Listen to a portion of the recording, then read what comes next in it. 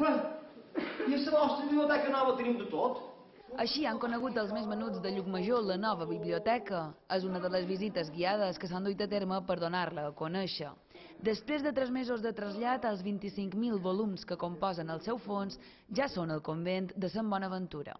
Pues jo crec que ha guanyat molt, que té un espai, sobretot és, és d'infantil, que, que ha guanyat en llum i en ventilació. Els nens d'aquí del poble puguin aprofitar aquest espai, sobretot per estudiar, que molts a casa seva no tenen un espai tan ben adequat com aquest. L'antic espai havia quedat petit i obsolet i ara ocupa tres sales independents que donen més versatilitat a la instal·lació per als diferents perfils d'usuaris.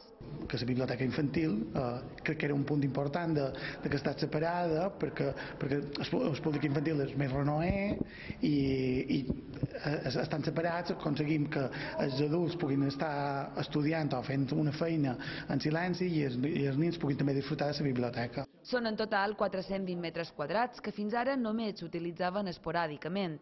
En només 10 anys, la biblioteca municipal s'ha hagut de canviar de lloc tres vegades.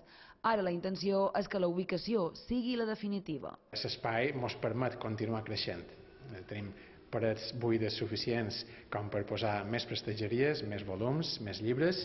Eh, fins i tot tenim alguna sala on actualment hi tenim oficines que si arribés al cas i fos necessari eh, se podien traslladar perquè sempre és més fàcil traslladar una oficina.